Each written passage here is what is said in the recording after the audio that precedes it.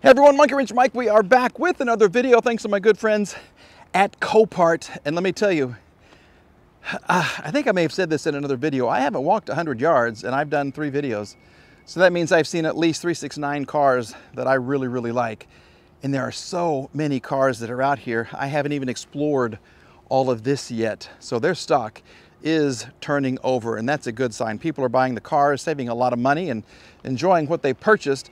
I want to do kind of a comparison video with this one because the first three vehicles that I saw were these small SUVs. So let's do a comparison video and we're going to compare, let's see, what do we have here? We have a Buick, we have a Ford, and we have a little VW. So here they are. We have the Buick, we have the VW, and we have the. Should we do them in this order? Or should we go here, here, and here? No, we're close to the Buick, so we're gonna check out this Buick. It's a nice looking little car. I like the color. This is a 2022 Buick Encore GX, which looks good. I don't see a lot of damage at all. Loss type is unknown, so that can be very iffy. It can be very costly if you make a mistake, or you can come out on the other side of the coin and save yourself a ton of money because sometimes these unknown issues are simply a relay or something like this that somebody couldn't figure out and so they just got rid of the car. You can save a ton on the cars out here. Um, the tires are good, Kinergy GT. I mean, this is basically 2022. It's almost a new vehicle. So I'm really interested. Well, there is some scuffing right here. I missed that. But that wouldn't be enough to make me want to sell this car. Let's go ahead and see if we can get inside and take a look. As far as the quality of the vehicle, Consumer Reports kind of liked this. They really did. Um, and now that I'm seeing this, I think I may have reviewed this. Yeah, they said the engine, the 1.4 cylinder turbo, the six speed automatic is kind of anemic, but it has a better ride than some of the larger SUVs. They did like that. Um, so it's not really a sporty vehicle, but it had lots of creature comforts, although the cabin is kind of cramped. Um, and it's, it's, it's much, much, much smaller than like a Toyota RAV4. But the engine in this sounds good. Here we go. Washer fluid is low. That's it? That's all you got? Okay. Yeah, 20,824 miles. Why are you here? We have a oil service at 19.6. It was due, so you're a little over. You got to think for your cell phone right here. Let's max out the AC. She's running good. There we go into reverse go into drive. Everything's fine there.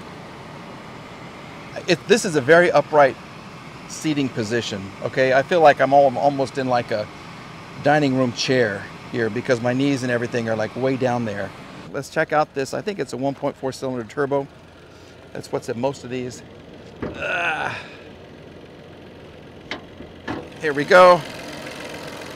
Little bitty teeny tiny engine. We do have some critters that have stored some food there. Okay, it's a little shaky. Yeah, I will say that. It is a little bit shaky. You can't really hear that or feel that in the cabin though, which is good. That's a tiny, tiny engine.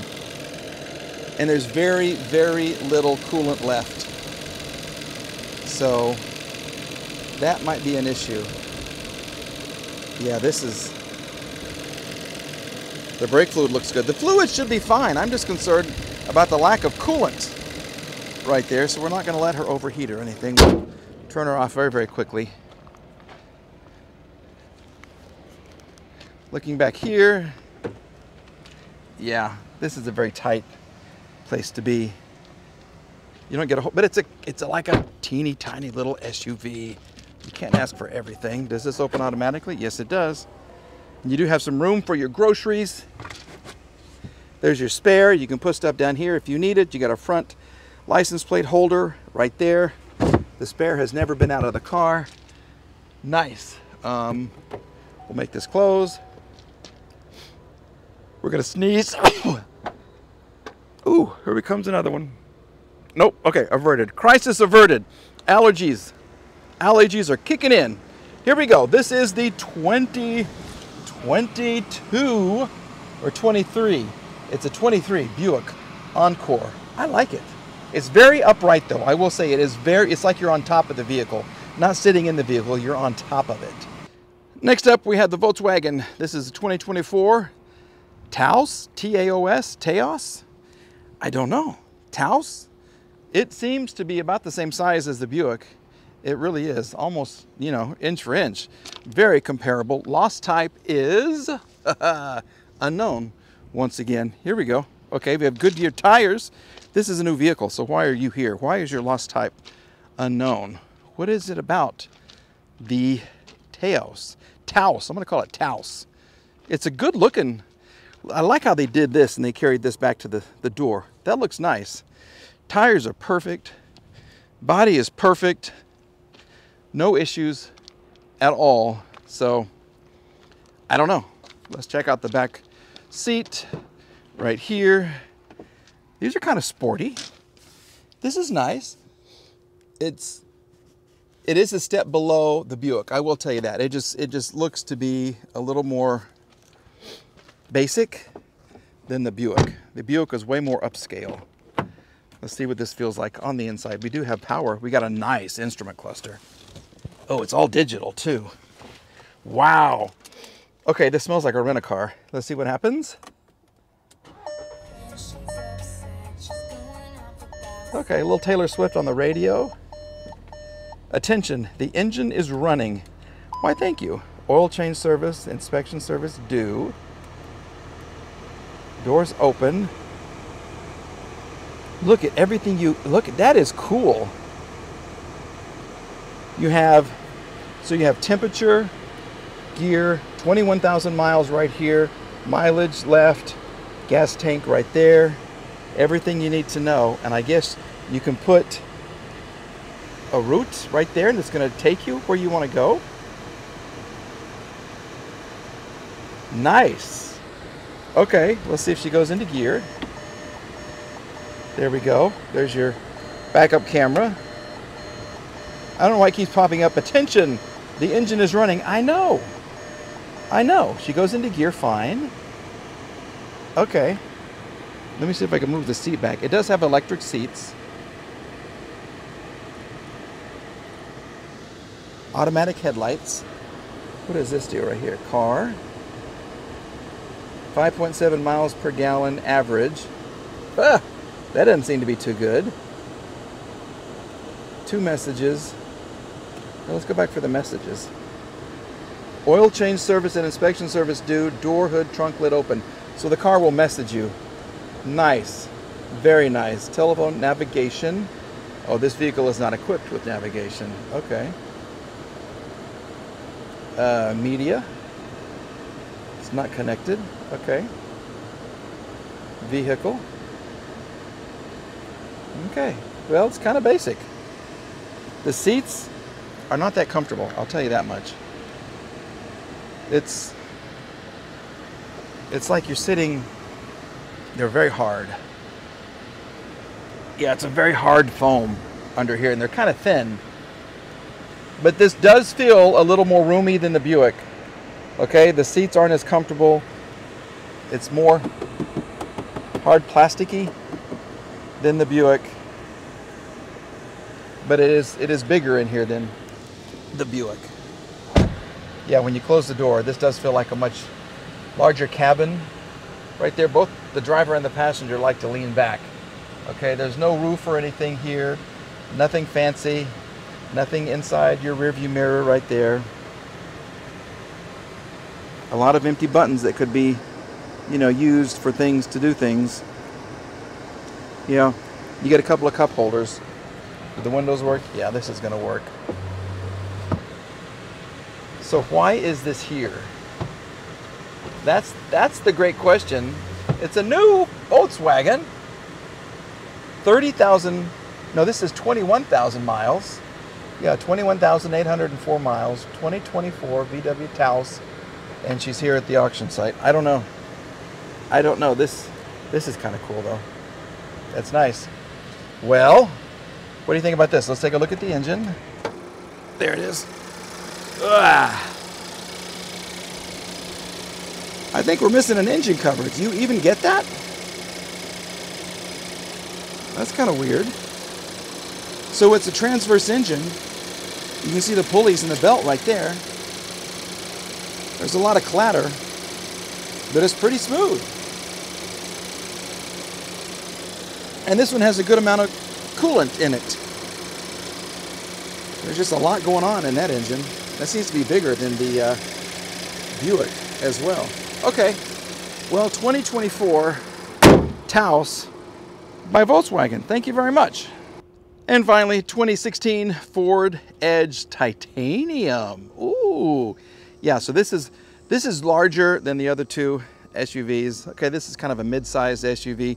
Consumer Reports liked it. They said they liked the uh, Turbo 4 much better, better than the uh, V6. This one, the lost type is listed as, uh oh, mechanical. Yikes. Okay, so I don't know. It may not even matter what engine it has. Um, they said the interior was roomy, spacious. Uh, there you go. Titanium, EcoBoost. I don't see any damage on the outside. We got a flat tire. Okay, so you probably need a tire. Maybe it'll inflate, but I don't know if I would trust it after sitting here for weeks and weeks like that. Um, I don't. There's some scratching on the bumper right there, but that's about it. Okay, let's take a look at the back seat. Oh, oh, this is nice. That's a nice surprise. Have I reviewed? I think I may have reviewed all of these vehicles before. I don't know. But if you missed it, okay, this is new. Um, I like the basketball orange. This is cool. You got that, they're getting all dried out though in the sun. Okay, so let's see if we can close that. This is way bigger. And I think this is, uh, this seems to be a little bit nicer than the Buick itself. Okay, let's just see. The seats are pretty comfortable. That is huge. And the sun is coming in here like crazy. All right, let's see if we can um, do something and see if it's gonna start for us. All right, after further review, I don't feel comfortable starting this because one, there's absolutely no coolant, whatever this is, add O-A-N-M-O-A, I don't even know what that is, um, motor oil, ASAP, I don't know. And the way the engine is looking, this, it's been a hard life for you and the battery is way back in there. How much fun would that be to change? Nine of 21, so it's a three-year-old battery. It is a Motorcraft battery though. It's just, this is dirty. This, this car has had a tough life. You can just tell. I'm sorry, it just, ugh. yeah, this is not something that I'm going to be interested in. Maybe you would be interested in this, but yeah, the inside is nice. I just don't know about being listed as a mechanical problem. Here, I love this part of the door. Good sound system. They did like the uh, Sync 3 system. This was updated in 2015. They said it made it a much nicer vehicle, much more comfortable than the previous model. Um, and I, I would agree, this is cool. This looks very much like a Toyota to me. Um, and it is kind of a raised seating position right here. You're almost sitting, so if I'm, I'm looking, I can see out over this headrest right here, which is nice. Um, and just having all of this sunlight coming in is nice, but I wish I could close the cover because it is a thousand degrees in here. And it's a very high shoulder line too because it's almost level with my shoulders. So I feel very well protected in here and there is room. And this is still kind of pushed back. I'm talking myself into this, but there's what's in the back. Yeah, but that sun right there, oh, it is a thousand degrees. So I think we're just gonna say, uh, that's it. I'm not interested. You're beautiful, you're cute but you're just not my type. That's a good way to let them down. You're not my type. And that's going to do it for another video here at Copart. I want to say a big thank you to everybody that lets me come out and have so much fun out here. They have a very friendly staff. And don't forget, you can buy everything on the phone. You can buy the car, have the car shipped to your house, all that kind of stuff. They will overnight the documents to you. Everything that you need, okay, is on the app. So please go check out the Copart app. You don't have to be a dealer to be able to bid on most of the cars. Some of the cars are dealer only, most of them are not. And so just regular folks like, you know, you and me can bid on these cars and buy them. I don't know if I'm gonna bid on this Ford right here. I don't know about the Volkswagen. The Buick was nice, it was comfortable. It was little, it's very, very little, but it's, it's, it's cool. Be sure to let me know which of the three vehicles you like. I read all the comments, and if you're especially witty, if you say something funny, then I'll give you a little heart. Sometimes I even reply, but I do spend a large portion of my day looking at the comments and reading what everybody has to say about my videos, and I certainly appreciate your honesty. All right, everybody, we're back with another one very, very soon. Until then, have a great day, okay? Bye-bye.